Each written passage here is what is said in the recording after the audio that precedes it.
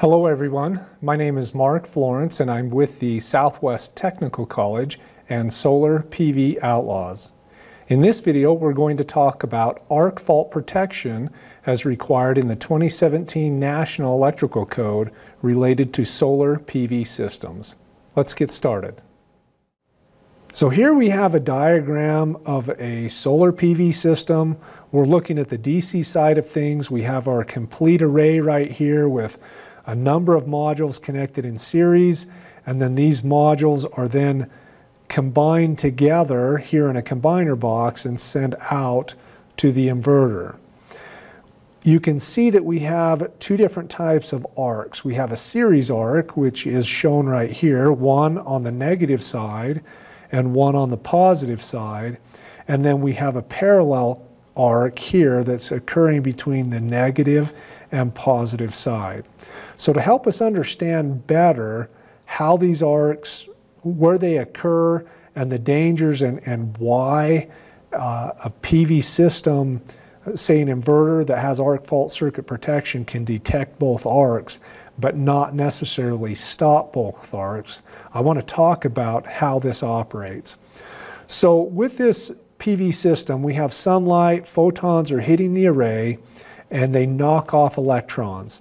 Now what happens with that is as the electrons are knocked off, we're, we're talking that the electrons will then leave the array right here on the negative side. They will flow out through, through the conductors into the combiner box. This is where they combine together and increase their current and then it flows out of that combined, that output circuit and then connects somewhere to an inverter goes through the inverter, pushes power into the building or into the whatever, you know, build residence or commercial building or whatever that is, and then the electrons flow back, back through the inverter, come back on the positive side. They split up right here on the uh, in the combiner box, and then it flows back out, follows along on the positive side, and then goes through each one of these modules uh, and then it comes back out again. So that would be our circuit. That's a normal operating circuit.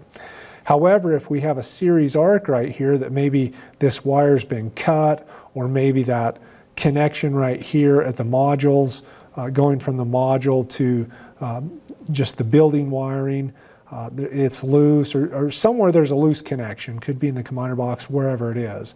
When it has that arc right there and, and we start having an arc, and that inverter or that device detects it and it's above 300 watts, it would detect that and then it would shut the system down so current could no longer flow through.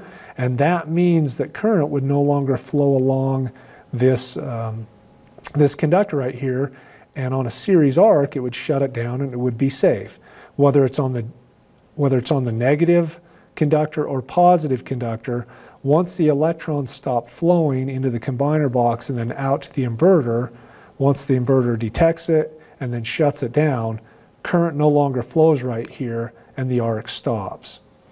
Now let's take a look at a parallel arc and help us understand why a parallel arc in this situation right here would not be able to be stopped by the uh, inverter protection. So remember, electrons are knocked off, they flow out the negative to the combiner box, combine there, go out uh, on the combined uh, output conductor, they go to the inverter, back out on the positive side, flow back out, come across this conductor, down through the modules, and then gravitate through and go back out. That's a normal operating system. However, if we have a couple of conductors and maybe they're inside of a conduit or maybe they're still in, in free air underneath the array, and we have the negative and positive that are then there's some type of fraying. Anyways, the, the conductors, the bare metal between these two conductors are touching and it's drawing an arc. That arc would be there. This inverter and the AFCI protection within the inverter would sense that arc as long as it's greater than or equal to 300 watts, and then it would shut down production or the power flow within two seconds. Here's the problem with that. The current is no longer flowing out through this circuit right here and, and back in, this current right here, or this, this connection right here, this, this arc that we have, or this fault, we still have all these modules wired in series. They are bypassing, this connection is made before the inverter, so even though the inverter may detect it and shut down the flow of current through here, this would still bypass because it's as if we just cut these wires right here, got rid of this rest of the system, and we touch the bare metal together. Well, we could have several hundred volts right here. If these modules are rated, let's say they're 40, say they're 30 volts, uh, and we have one, two, three, four, five, six, seven, eight. Eight times 30 would be 240 volts. We could have 200 and, and uh, 240 volts, and let's say they're about 8 amps current. We could have 240 volts and 8 amps current flowing right here, and it doesn't matter the inverter's uh, shut down, disconnect the flow of current because this bypasses it.